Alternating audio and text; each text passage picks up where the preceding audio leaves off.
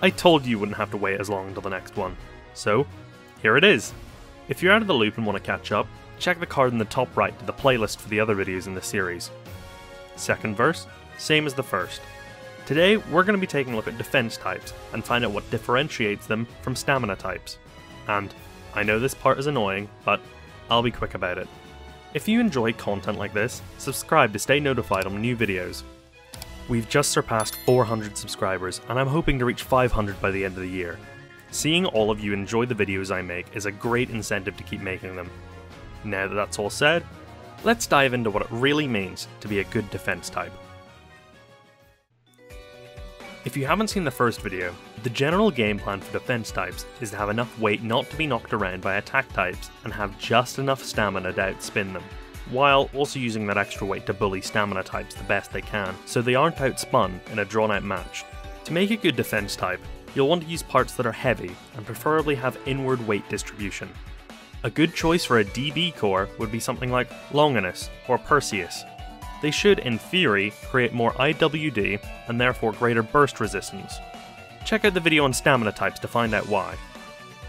There are another few cores worth mentioning for defense for another reason.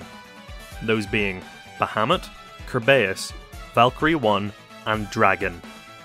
Bahamut and Kerbeus fall into the same niche but for opposite spin directions. Unlike normal cores, they do not have teeth to bite the driver and prevent it from moving, Instead, they use slopes, like Hasbro bays. You'd think that without teeth, they would have worse burst resistance, but this isn't the case. Thanks to its rubber lock, it prevents the bay from bursting, thanks to our old friend, friction. Dragon and Valkyrie 1 are a different case though. They are both right spin cores and have teeth as usual, so what makes them different? They don't have any kind of burst stoppers or BU lock, but they do have something else interesting. The core has a spring in it, turning any layer it's a part of into a spring-loaded, bound layer, just like God Valkyrie. When the layer is hit, it will bounce back without losing any clicks, provided it's not hit ridiculously hard. The different Valkyrie core molds can vary in how good they actually are, but from what I've seen, Dragon seems to be the solution with a more consistent spring and better teeth. You will also want your layer to have some contact points, without being quite as aggressive as attack types, because you'll want to conserve your spin to a degree enough to beat attack types by stalling them out. But have just enough attack to be able to counter them and have a shot at beating stamina type. After all, you don't want your defense types to be solely taking hits without dealing any. That's for stamina types. A great example of this would be the Roar Blade. It's mostly rounded and fairly heavy, but has two contact points at the sides to be able to counter attack. Another blade that has good defense would be Prominence, like Roar, it has two contact points at either side, fairly heavy and decently round. However, it has a trick up its sleeve. Prominence has a normal mode and a heavy mode.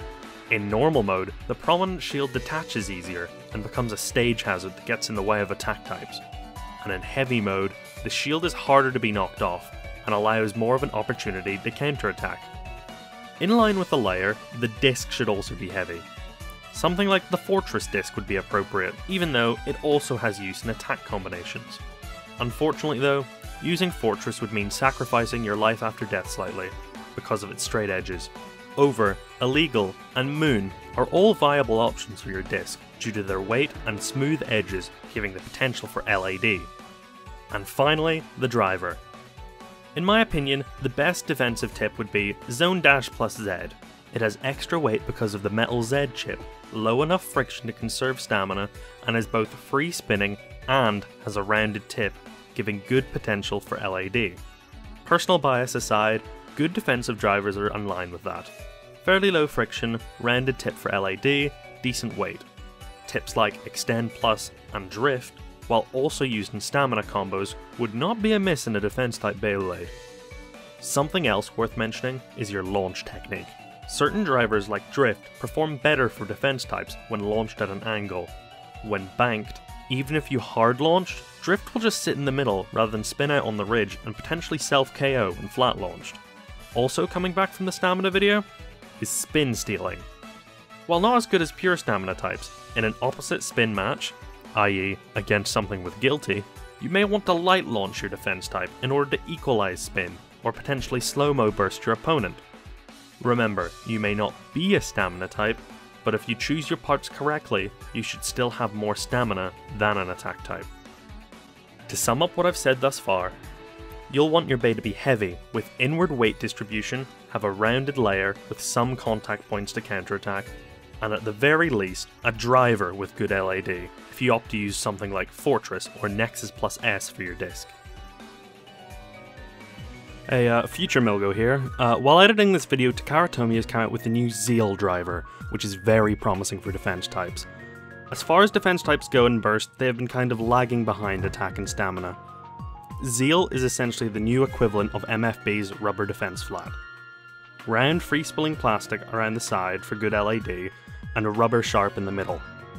The rubber part does mean the bay will have less stamina, but because it has a low surface area, the friction it generates will be only enough to increase knockout resistance without a major effect on stamina. From the looks of it, the Zeal driver is going to be the best defensive driver, for opposite spin at least. Thank you for making it to the end of this video. I hope you enjoyed watching it as much as I did making it.